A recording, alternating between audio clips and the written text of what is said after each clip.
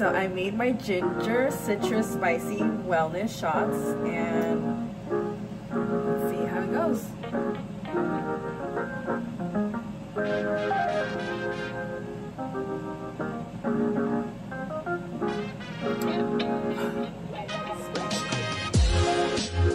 So this is how I made my ginger shots.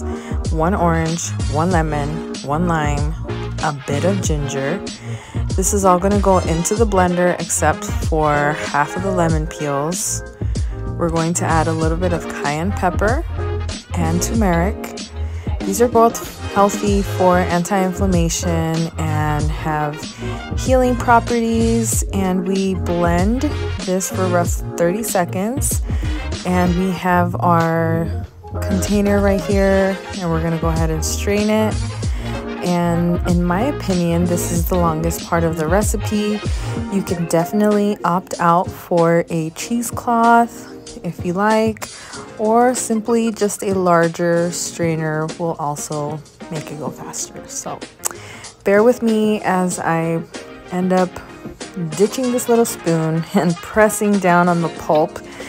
And don't throw away the pulp because we are going to use that in another recipe.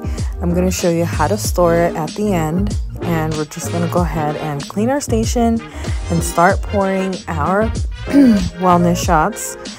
And these are going to be spicy, warm, healthy.